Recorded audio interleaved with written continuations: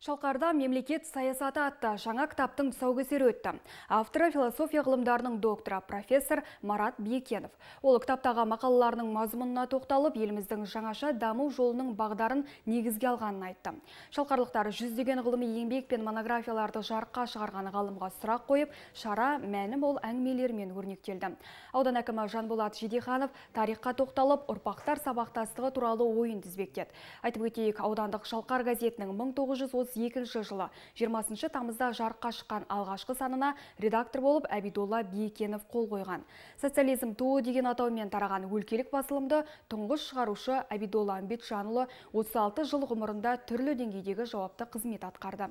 Қазақ КСР жоғары сотына төрағалық еткен мемлекет және қоғам қайраткері болмысы биік тұлғадан тараған ұрпақтар да бүгінде республикамызға есімі белгілі азаматтар сапында. Солардың бірі кітап авторы Марат Биекенов қазіргі жағдайда сол әділеттік мынау жаңағы сол салыстырсам екі эпоханың өткен эпоха мен қазіргі иә біз қойып отқан ең мақсатымыз адамның әділеттік әділеттікті орнату әділеттік мемлекет құру. Қазіргі саясатта соны сол ең басты нәрсе халқымыз өзгерді мемлекет өзгерді қоғам өзгерді қазір жағдайы. Ой пікірлер өзгеріп жатыр керемет. Қазір біздер бақыттымыз жаңа дәуірді бастайық деп жатырмыз. Келесі келе жатқан ұрпақты біз ең біріншіден жақсы сапалы не білім беруіміз керек білім беруіміз керек. Сосын тәрбие.